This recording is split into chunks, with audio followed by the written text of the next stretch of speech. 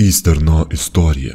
Gyveno kartą bahurėlis. Kaip ir visi vaikai, ėjo į darželį, į mokyklą. Šitam bahurėliui nuo maždaug šeštos klasės sunkiai sekėsi mokytis. Kodėl? Todėl, kad tais laikais rodė Dragon Ball per teliką. 6, 7, 8 klasės. Jam buvo pačios sunkiausios. 90 pajibat. Todėl, kad egzaminai nebuvo privalomi.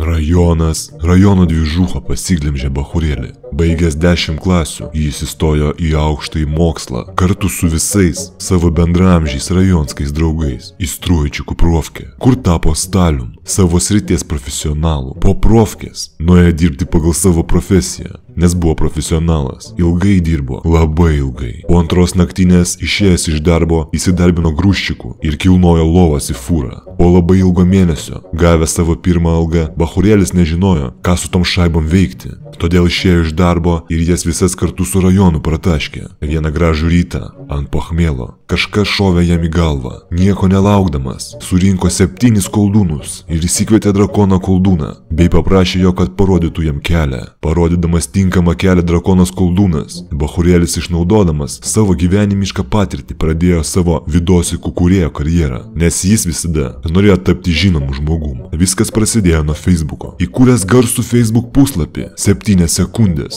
kuris rinko šimtus tūkstančių peržiūrų ant įvairiausių vidosų. Tai buvo rodiklis, kad reikia nesustoti ir kurti toliau. Po biškį atsitolinęs nuo rajono dvižuchos ir būkinimo darželiuose bei strojkėse, po dar daug metų susimastęs, kad reikia kilti aukščiau, sukūrė Facebook puslapį Eastern European ir pradėjo kurti animacinius filmukus. Po labai sėkmingo starto jau Easter nutapęs bahurėlis pamatė šviesą tunelio gale. Sėdėjo ant piko, bet tada atsitiko tai. Šaukimas į armuchą. Uždarytas devyniem mėnesiam. Easternas savo karjeros pykė prarado motivaciją ir nebekūrė video, nes neturėjo tam galimybių būdamas uždarytas devyniem mėnesiam armuchui. Išėjęs iš armuchos, nebeturėjo motivacijos nei sportui, nei kūrybai. Šoko į gilę depresiją, nes per tiek metų kažko siekęs, viskas nuėjo v žopų. Pasisėmęs motivacijos, įsidarbino į laidų fabriką, kur gamino jibanus laidus. Jau beveik metęs Easterno projektą ir ketinęs jį perleisti kam nors kitam. Easternas suprato, kad reikia nepasiduoti ir su savo draugės pagalba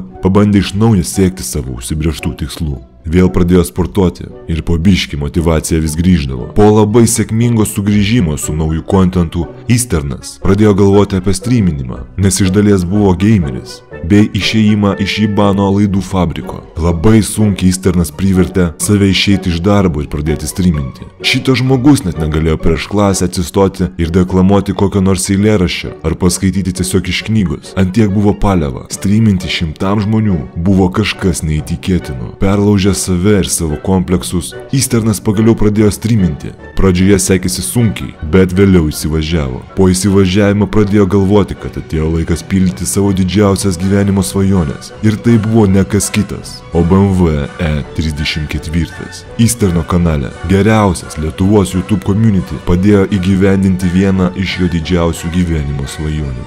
BMW E34, kurį jau galite pamatyti mano Instagrame. Easterno svajonės čia nesibaigė. Dabar reikia pasiekti 100 tūkstančių subscriberių. Ir tai mes galim padaryti tik su jūsų pagalba. Jeigu tu dar nesi Easterno subscriberis, tai būtinai paspausk subscribe mygtuką kartu su varpeliu ir padėk Easterną pasiekti dar vieną jo svajonę. Jeigu jau sugebėjo Easternas išlipti iš didelio rajono dugno, tai tu tikrai sugebėsi išpildyti savo didžiausias svajonės, seni.